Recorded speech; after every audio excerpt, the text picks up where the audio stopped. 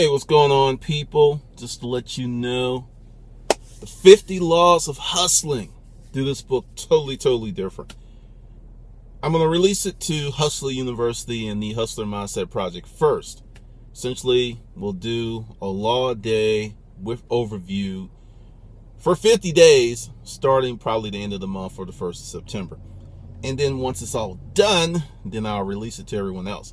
But the best experience will be getting the Hustler University experience. So if you don't know, you still got time to get in on the deal. Hit that link below and you'll be good to go. All right, let's get into the video. It's a burner. Scared money never made money. It's a phrase that I embrace, I believe in, I think it's the gospel. But before we get into that, let's talk about what is money. There are many different forms of currency. When you speak of money, most people, the immediate default is this, you know, my uh, toll booth money. And it's more than that. It's way more than that. It's significantly more than that there are many different forms of currency spiritual currency, physical currency, mental currency, creativity, emotional. There's so many different forms of money, wealth, assets, assets or resources.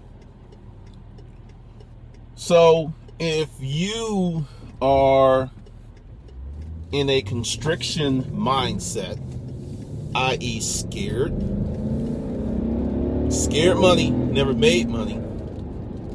Then you actually chase away the things that you want. Let me break it down for you so it's forever broken. You cannot own, have, cultivate, gather, collect, amass things that you despise.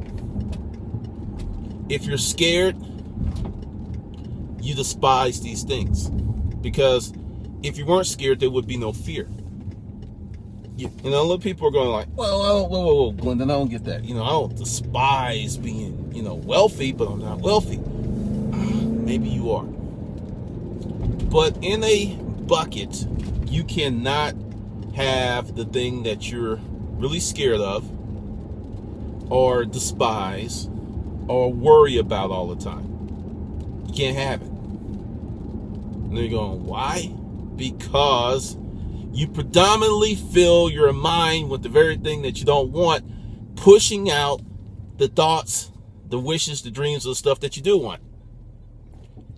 There's an immutable law of nature. Only one thing can occupy one place at one time, unless you get in quantum physics and all that other stuff in science fiction. But for most of us who are not on that plane, only one thing can occupy one place at a time. So if you are scared with your money, whatever currency that may be,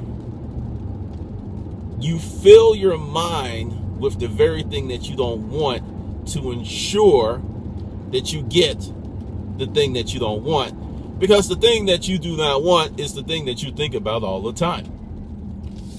I used to get tickets like a fool because I would get on the road and I'll just give you the whole deal. I would see cops and I get really nervous. The hair on the back of my neck would stand up. And it wasn't the cop, it was the repercussions of what could happen if I got a ticket, which was creating that fear, which created that preoccupation. I thought about it all of the time. All of the time. And it became true. I remember there was a month. I got to 540. I got three tickets in less than 25 days. One more ticket, I was going to lose my license. I mean, it was just.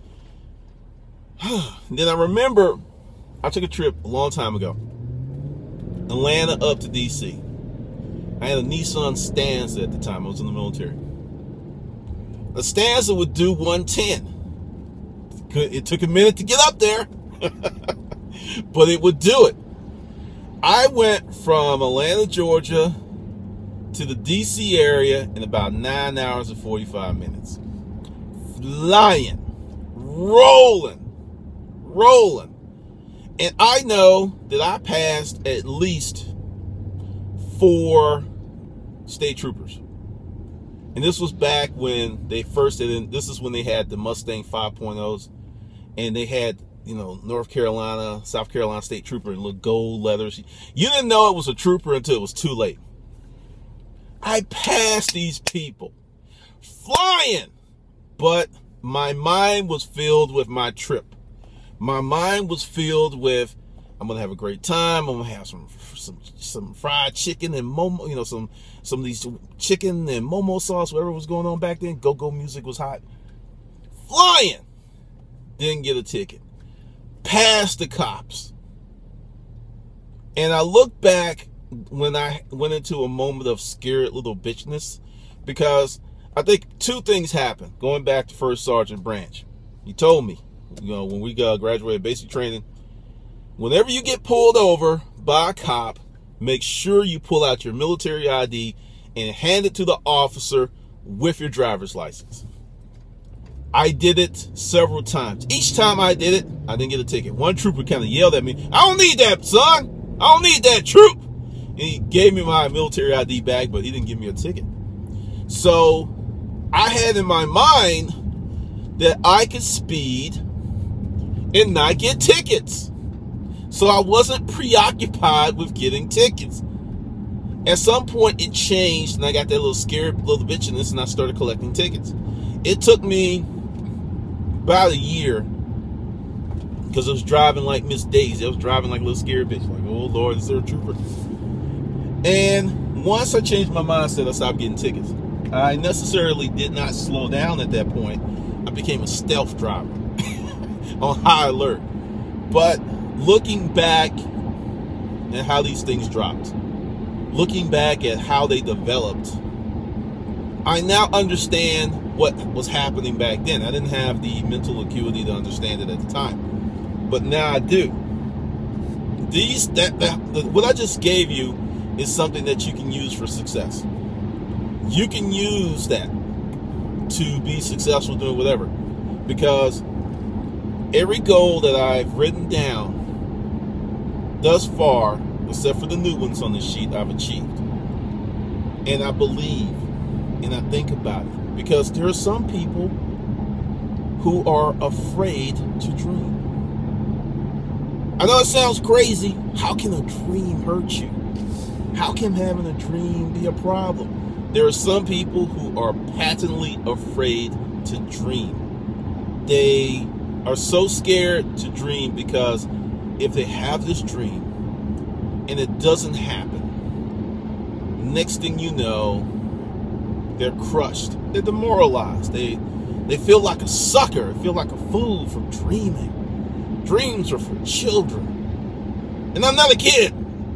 So they don't dream. I think that is misguided thinking. I dream all the time. I daydream. I think about what I want in life. I fill my head with it. And I, I think about it. And it's so funny I'm doing this video and I'm about to pass, uh, yep, Georgia State Trooper. Now, since I'm over in the right hand lane and I'm just cruising, and I don't know what's going on, looks like he's, hmm, I don't know. Oh, he's re aiming. It's funny that I'm doing this video and there would be a cop. And he's going to get somebody who's not thinking are filled with dread on these tickets. But being afraid to dream is a form of scared money, never made money. If you're afraid, scared to dream, it's not going to happen. If you're afraid to spend money, you're not going to get more money. Fortunately, now this is what's really cool. Fortunately, we live in an age right now that you can literally make money without spending money. You can literally make money online without spending money. It's it's not a pipe dream. It's not a fantasy. It's very very real. but it's about strategy, technique, and mental resources. So understand if you're in that position of scared money, never made money, if you're scared to release love, you're not going to get love. If you're scared to dream, you're not going to realize your dreams.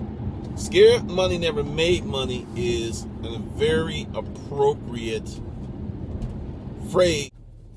So if you're in the position that uh, you're experiencing all this fear, and you know, if you think about it, it makes a lot of sense because think about the things that you think about all of the time.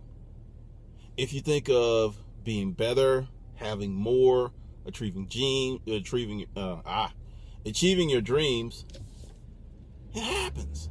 But most people are filled with dread. And part of that is marketing. How things are marketed to you. That like um, you do certain things, they show you images of your family to push those emotional triggers.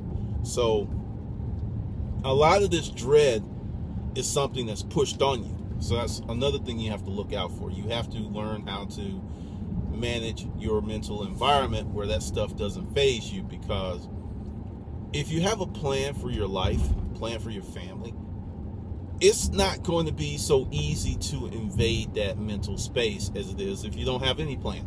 Most people are repositories. That's why it's so easy to fill their head with notions because there's nothing in there already. If there was something in there and here comes this other stuff, it would bounce out because there's something already in there. Going back to what I said earlier is only one thing can occupy one place at a time. So that's why I say be sure to fill your head with all kinds of good stuff. Books, videos, classical music. Fill your head with good stuff and it makes it much harder for the bad stuff to get in. Now, if you are living a life of quiet desperation, that phrase came from a play or a book, I believe, you have to ask yourself why? Why are you living like that? Why? And when you come up to that answer, with that answer, you're going to come up with a big solution that's going to solve a big problem, make your life better, easier for you to achieve the very things that you want in life because understand if you're scared you're filled with dread that's your preoccupation. That's what you're going to think about all the time. And it's not going to bode well for your future success. So just letting you know that is the deal. That's what's going on. And this is glendon cameron and i'll see you on the good side. Be sure to uh, sign up on my email list. A lot of good stuff comes that way. All right, I'll see you on the good side.